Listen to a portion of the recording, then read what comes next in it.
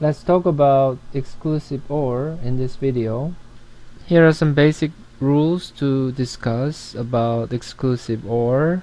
The first one is that exclusive OR is a binary operator, meaning it takes two inputs and the symbol we use for an exclusive OR operator is looking like this and when we provide two inputs since it's a binary operator to this uh, exclusive OR operator. When they are different the exclusive OR operator produces true as an output and when the two inputs are the same the exclusive OR operator produces false as the result of its operation so we can show you this by using a truth table as shown here. So you have two inputs P and Q. And as you can see the first input P and Q they are the same. So exclusive OR operation produces false result represented by 0 when the two inputs are different. 1 and 0 it generates 1 as a result. Again P is 0 Q is 1 so it generates 1 representing true. And then when they are both ones the exclusive OR operator generates the result of 0 representing false.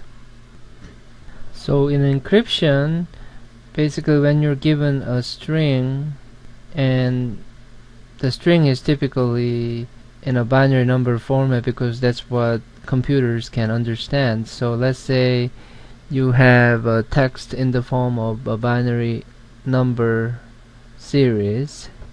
So say 1 1 1 or something like that.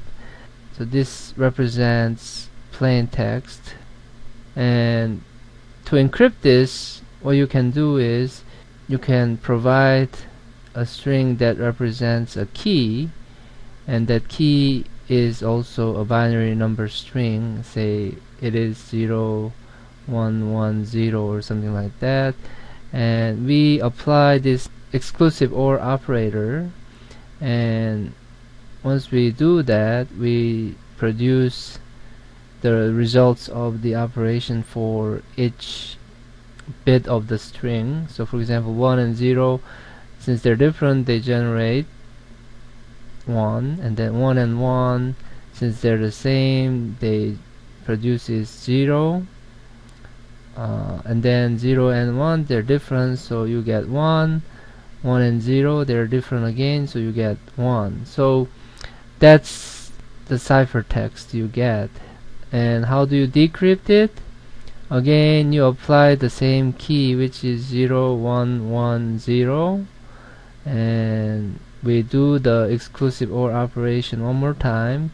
So 1 and 0 again they are different so you're getting 1 0 and 1 they're different so you're getting 1 1 and 1 they are the same so you're getting 0 1 and 0 they're different so you're getting 1 so 1 1 0 1 is the result of the decryption.